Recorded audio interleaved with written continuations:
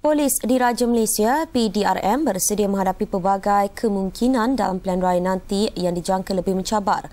Ketua Polis Negara Tan Sri Ismail Omar berkata, keutamaan diberi kepada memelihara ketenteraman awam dan kesejahteraan rakyat. Pelbagai langkah diambil ketika fasa persediaan termasuk mengadakan khusus mengenal pasti bentuk penugasan pilihan raya, keperluan logistik dan kebajikan.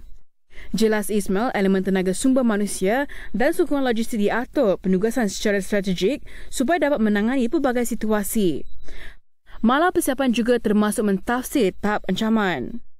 Tegas Ismail, polis tidak berkompromi dengan apa jua anasir dan bertindak terhadap siapa yang melanggar undang-undang.